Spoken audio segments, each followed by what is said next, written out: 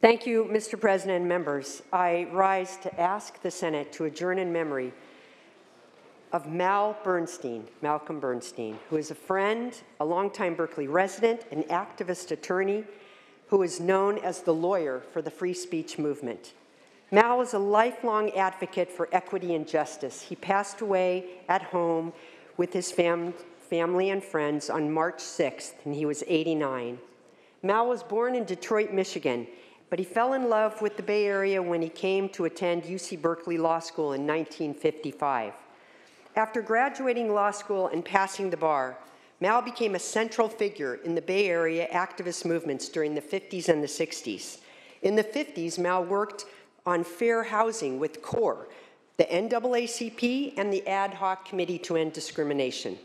In the 60s, Mal became active in the National Lawyers Guild and was the lead attorney for students and others who were arrested in UC Berkeley's free speech movement.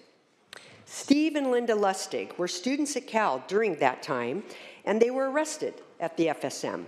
It was Mal who bailed them out and then served, and he had never met them before, and then served as their and other FSM arrestees' attorney. Steve, Linda, and Mal remained lifelong friends. Later, Steve became the vice chancellor of the very university that got him arrested and Mal, a well respected alum. A lifelong peace activist, Mal was also the trial attorney for the Oakland Seven, who were charged with felony conspiracy for their anti draft demonstrations at the Oakland Draft Induction Center. He won acquittal for all seven. Now, some of you, some of my colleagues, you've probably met Mal from when he was very, very active in our state Democratic Party.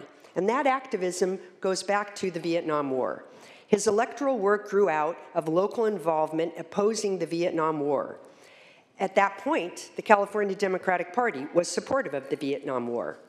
Mal ended up being the lead organizer of the Scheer for Congress campaign in 1966, which was the first Democratic congressional campaign that opposed the war in Vietnam.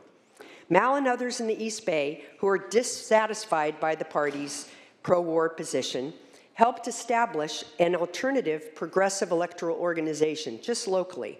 And that local Community for New Politics, later named many other things, including Berkeley Citizens Action, elected anti war activist Ron Dellums to Congress in 1967, along with progressive candidates to the Berkeley City Council, and forged alliances between the peace movement and the Black Panther Party.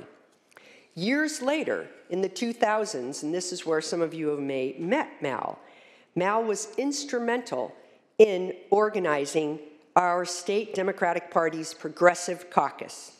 He also served as campaign treasurer and advisor for Congresswoman Barbara Lee.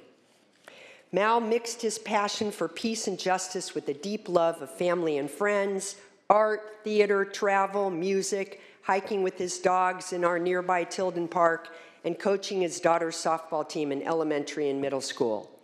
Mal is survived by his wife, Catherine Trimber, his two daughters, his four grandchildren, and numerous other loving family and friends. He will be missed. Thank you.